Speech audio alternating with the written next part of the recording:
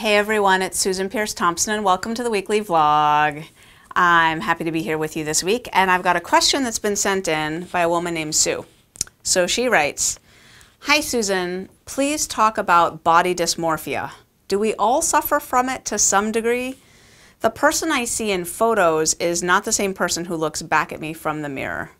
I used to be significantly larger in photos and now I'm significantly thinner.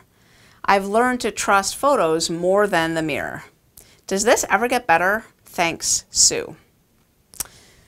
Yeah, oh, body dysmorphia. That is such a good question, Sue. Um, so, do we all suffer from it to some degree? Well, of course, I have no way of knowing that um, exactly, but my hunch is that um, we all do, at least at certain times. So, I can think of three kinds of body dysmorphia. Um, one I encounter all the time, which is people that have gained weight gradually over time. And because of adaptation, which is a very powerful effect, you know, our, our eyes adapt to the level of illumination in the room, right? So we go into a dark movie theater on a sunny afternoon and our eyes adapt we come out of the movie theater and our eyes have to adapt again. We always sort of adapt to the baseline of whatever's going on. Or if there's a repeated stimulus, we stop noticing it, right? You stop noticing the pressure against the back of your thighs when you're sitting in a chair for a long, long time. You adapt. And as we gain weight, we adapt. And so we kind of still look like ourselves, but we've sort of lost track of how big we've gotten.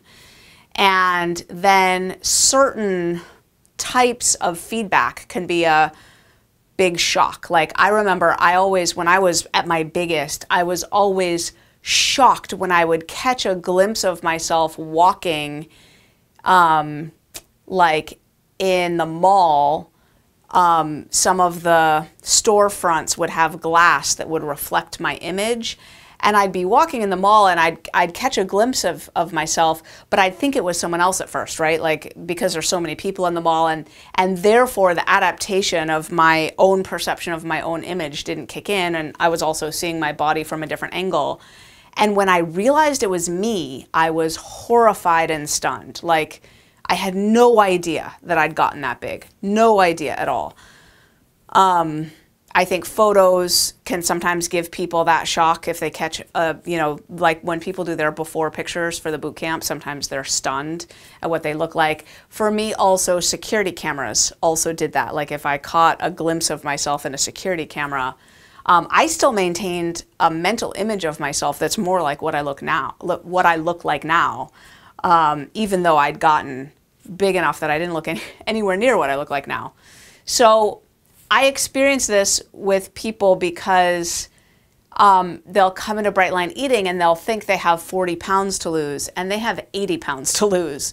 And they just don't see themselves as being 80 pounds overweight. Like they've just sort of, they know they have some weight to lose, but they have no idea realistically how much. And I think that some of that is a certain degree of body dysmorphism. I mean, a lot of it is actually with just people out there in the wild, like family members or work colleagues or whatever. And especially when I started this Bright Line Eating venture, they would chit chat with me and like, oh yeah, I've got probably 20 pounds to lose. And you know, I just know because I've worked with so many people, they have way more than 20 pounds to lose, but they don't see themselves that way, right? So there's one kind of body dysmorphia is you're too big and you don't see yourself as being that big unless you get certain types of feedback that jolt you into the reality.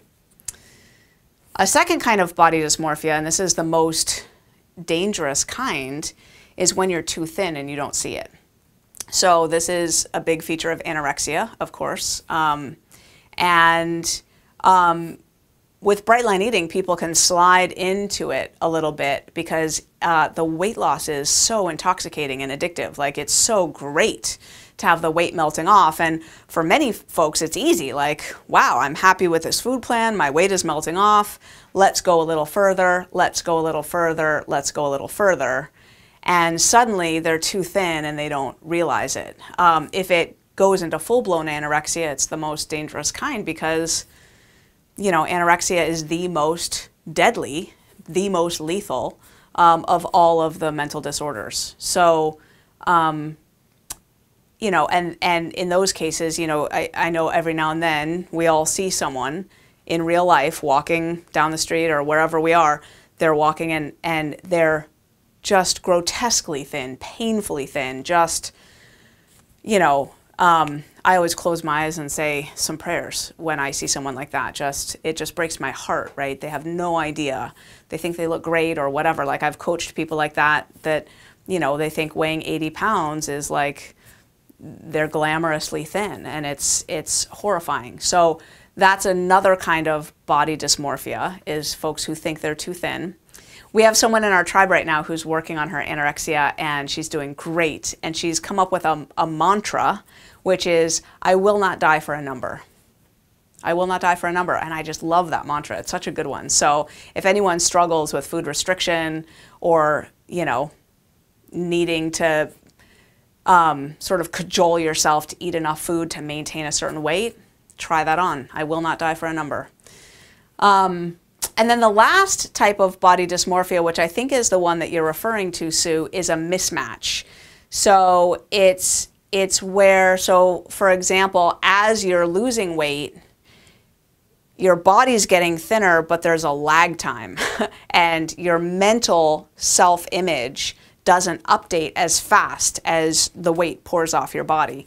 And we see this all the time. This is actually um, the standard in bright line eating and in any weight loss realm. Um, there's a, at least one published psychological paper on it that your mental self concept does not update as fast as you lose weight. And it takes time.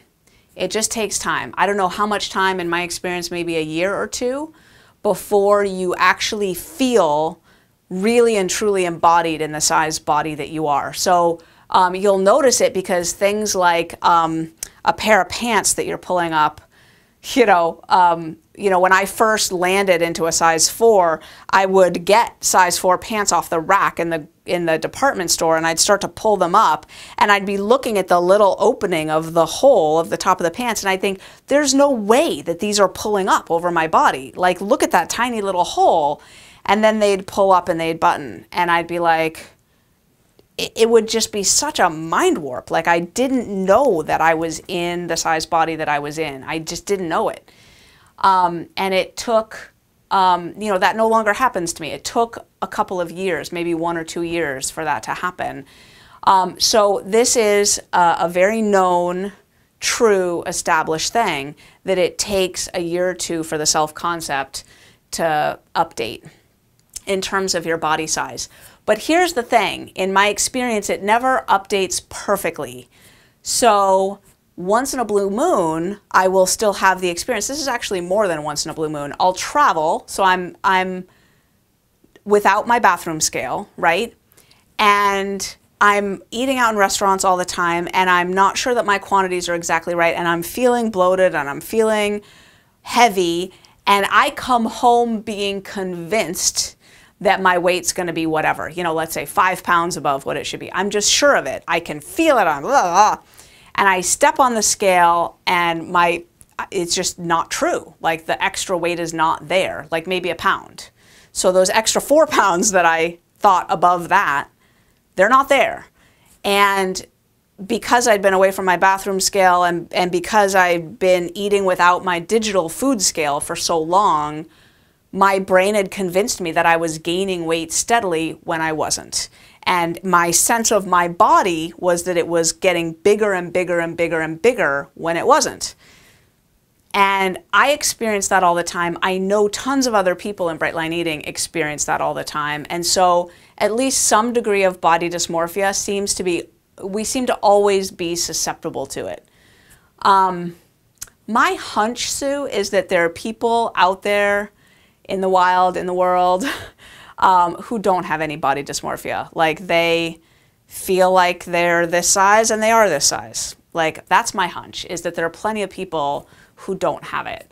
Um, in the Bright Line Eating community, those of us who are susceptible to food issues and weight issues, um, I think we're more likely to have it. And there are these different forms of it, of it that we're susceptible to at different times in our journey. So I hope that, oh, and, and I hope I've made it clear. You, you asked, does this get better? Does this go away? You know, the answer is yes, it will get better. It will get a lot better. Um, but in my experience, you're always sort of susceptible to it around the edges. So anyway, I hope that helps, Sue. Thanks for the awesome topic. And that was the weekly vlog. I love you bunches, and I'll see you next week.